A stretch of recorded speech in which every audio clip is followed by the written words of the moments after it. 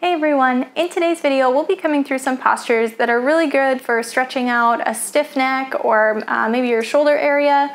Uh, this is something that I am quite familiar with because I practice these all the time. I tend to get uh, a bit of stiffness in my neck that can cause tension headaches.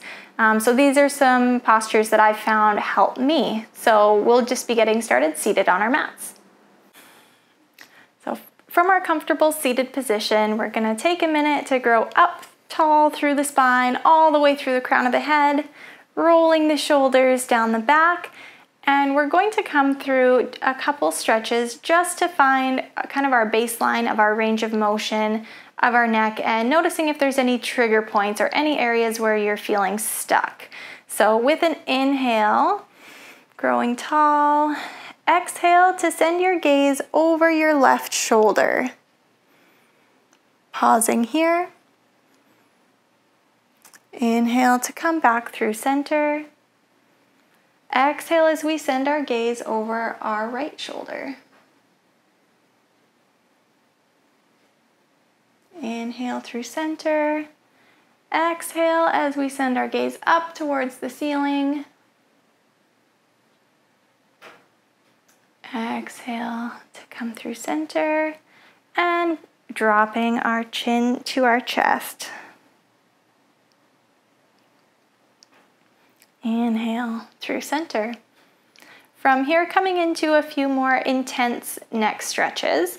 So I'll show you a few different variations and pausing anywhere uh, that's feeling good for you.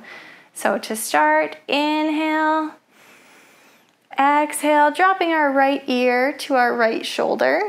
This might be as far as you go today. If you'd like to take it farther, you can take your right hand to the side of your head and just applying very gentle pressure. And if you'd like to take it one step farther, you can walk the left hand away from the body along your mat. I find this one helps me the most when I'm uh, feeling a lot of tension, especially near the base of my skull. You can play around, maybe sending your gaze down towards your knee, or maybe even hovering the left fingertips off the mat. Just finding what stretch or what angle is reaching that area um, that's bothering you. Inhale to release and come back up through center. Exhale as we send our left ear to our left shoulder. And again, choosing your option, maybe grabbing a hold of the side of the head very gently, and maybe walking the fingers out.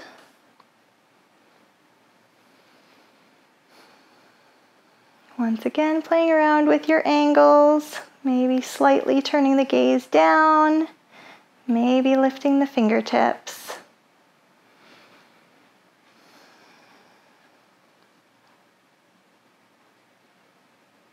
Using your exhale, releasing your hands back to your knees and slowly drawing your neck back up. Deep inhale as we're seated. Exhale, drops your chin to your chest. And once again, this might be good enough for you for today. Or if you can feel like you can take it a little bit farther, you can interlace the fingers behind your neck, applying gentle pressure. Hardly any pressure, just allowing gravity to draw your arms down.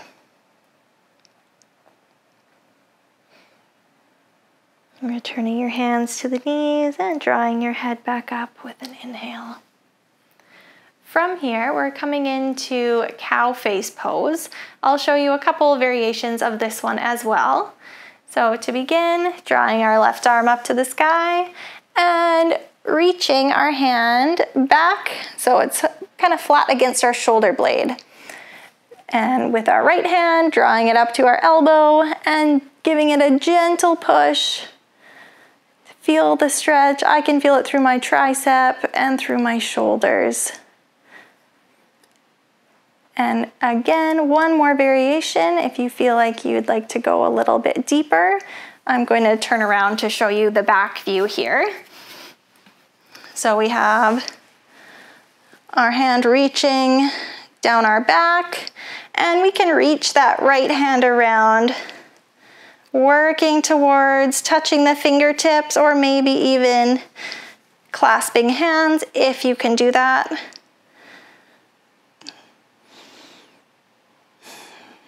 This is the side that I can touch fingertips on. I know for sure on my other side that my fingertips don't meet. So even if you're here, this still might feel like a nice stretch.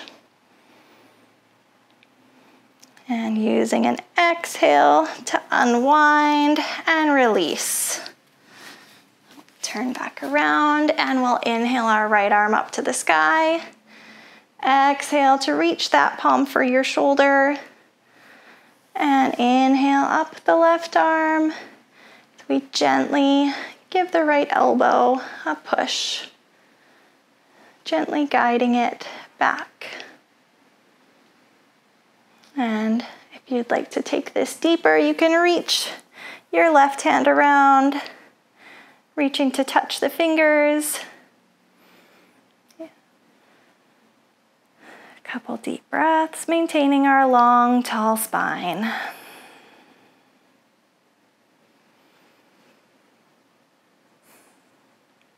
And using your exhale to release the left hand and then the right. From here, we'll be making our way into tabletop. So planting our hands under our shoulders, positioning our knees underneath of our hips, and we're coming into a few rounds of cat-cow. Cat-cow is great for so many things, but especially uh, for warming up our spine and just feeling that connection of our spine all the way from our tailbone up all the way to our head. So with an inhale, drop the belly, lifting the gaze up. Exhale as we round pressing through our hands actively to create that arch in our back and allow the head to become heavy here. So just allowing gravity to pull it down gently. Inhale for cow pose. Exhale for cat. Inhale for cow, pressing the, the ground firmly away with our hands. Inhale as we round the spine and allow the neck to fully relax and just dangle. Inhale for cow. Last round here. Inhale, cat. And exhale as we come to our neutral tabletop position. From here, we're coming into thread the needle. So beginning with our right hand planted firmly, so making sure we're pressing all the way through our hand, all the way through our whole fingers, all the way to our fingertips and inhale to draw our left arm up to the sky, seeing if you can follow your gaze, sorry, follow your hand with your gaze. If that's too intense, just a neutral gaze is fine. Once again, we're just taking note of any areas that we're feeling the stiffness and any particular angles that are bothersome for you. And with your exhale, we're drawing our left arm under the right, drawing our shoulder down, the ear and the side of the head down. This is a great upper back stretch for relieving any tension. We have a couple options here with the right hand. We can leave it as it is. We can draw it up overhead to the small of the back or we can even reach it for our inner thigh on the left side. So choosing your arm variation and spending a couple deep breaths here.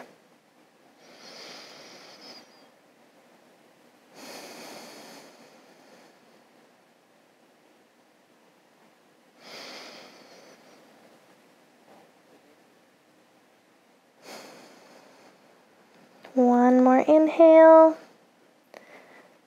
And with your exhale, we're unwinding. If you were twisted, returning our hand to the mat, pressing up and through, returning to our tabletop. From here, setting up on the opposite side. So firm contact with our left hand to the mat. Inhale the right arm up and overhead.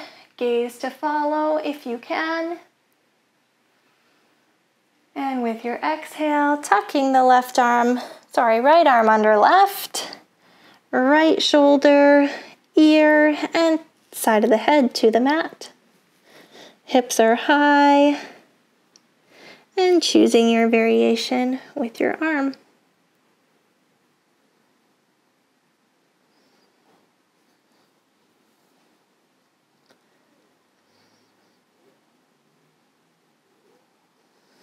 With each exhale, feel yourself sinking deeper into the mat.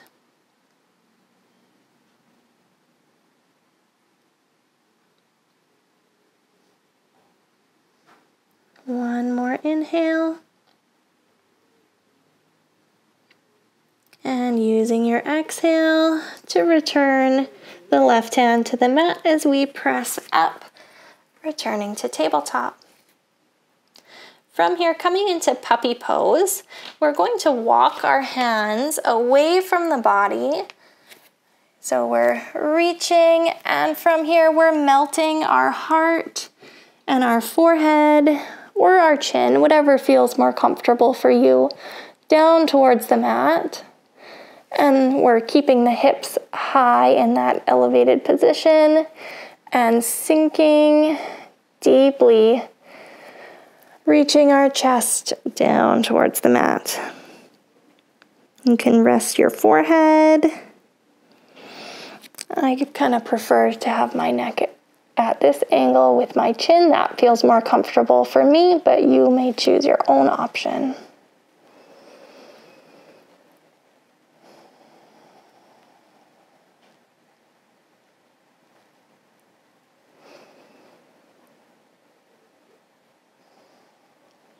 One more breath here.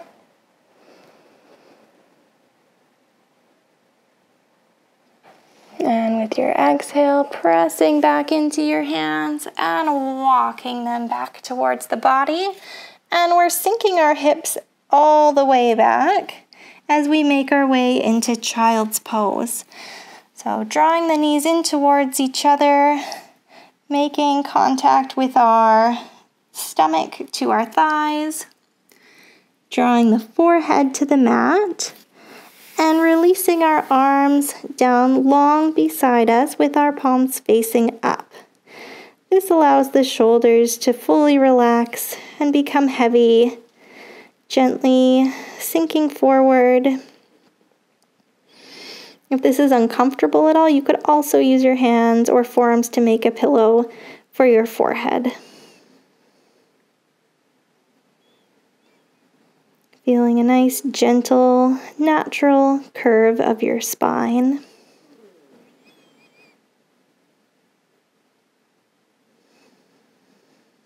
We'll take two more breaths here. With each inhale, feel how your stomach compresses against your thighs. Kind of a nice, nice, kind of feels like a nice hug.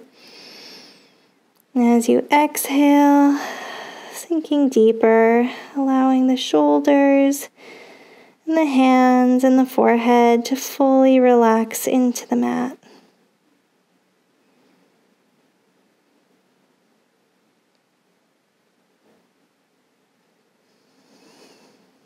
Using your next inhale, returning our hands under our shoulders as we make our way up to seated. I hope these stretches have helped you as much as they've helped me. This is something I find myself doing at least a couple times a week just to maintain um, that good range of motion and flexibility in my neck. So if, um, feel free uh, to do these as often as you need, and I look forward to seeing you next time. Bye.